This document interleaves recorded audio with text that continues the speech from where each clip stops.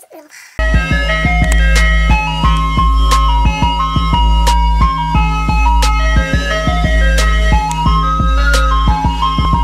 Guys, it's Jay and today I'm here with a book review for The Cruel Prince by Holly Black. This has been all the rage on booktube lately and I am jumping on the bandwagon. I ended up giving it a 5 out of 5 stars like pretty much everybody on booktube so I thought that I would come on here and gush my feelings. So without further ado, let us get started.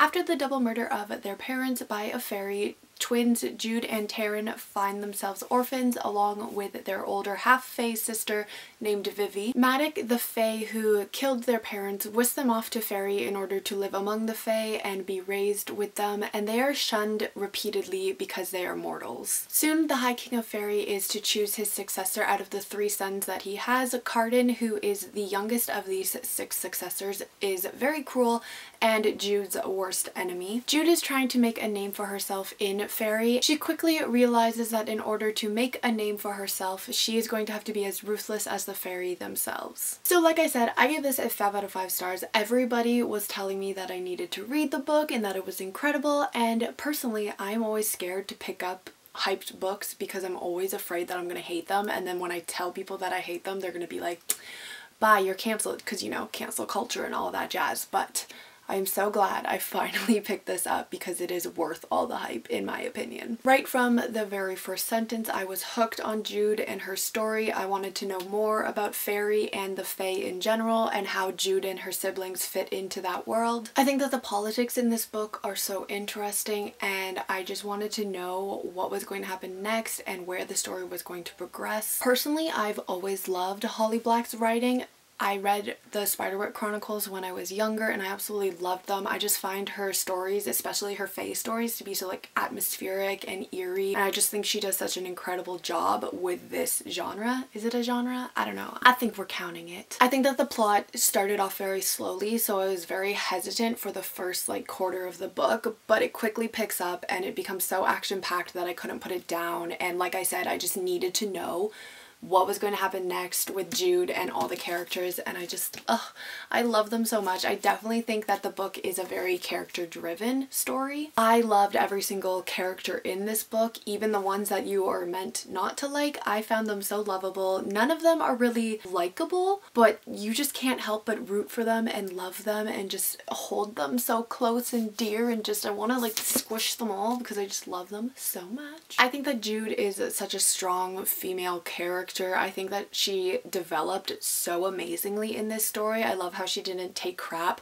from any of the Fae and what they tried to throw at her. She was very headstrong and just you could tell how loyal she was to those who she cared about. Like many people, I started off hating Cardan because like the title says, he's cruel. He's not a nice person, Fae he's not a person. But as the story progressed, like I couldn't help falling for him and just rooting for his little annoying face. Like I just wanted to kill him and punch him.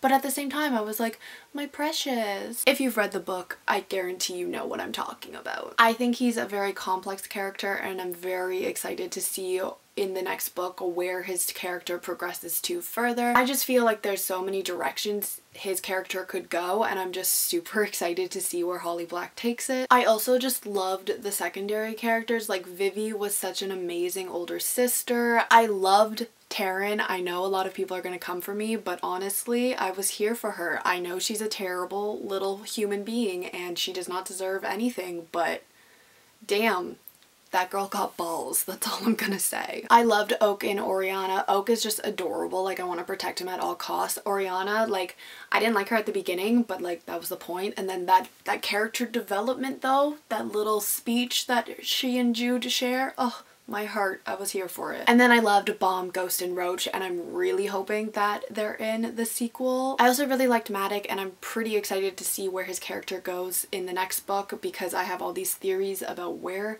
the storyline could progress, but I'm probably very wrong. I also loved how complex Taryn and Jude's relationship was. I just thought it was really interesting to see how both of them differed so vastly on how they wanted to fit into Faerie and the people around them. The book also contains one of my favorite tropes, haters to lovers, so you know your girl was here for it. It had like everything I wanted in a book and I just loved it so much. I'm so excited for the sequel. I don't own it and like I need in my life so like I said in my most anticipated releases video, sugar daddies hit me up buy me the book, please, because I need The Wicked King. I need to know what happens next. Alright guys, so that was my very rambly, probably made no sense review of The Cruel Prince. Let me know down below if you guys read it, what you thought of it. I'm sure you loved it. Let me know if you've read the sequel yet and if I need to get my hands on it. And I will see you all in the next video. Goodbye!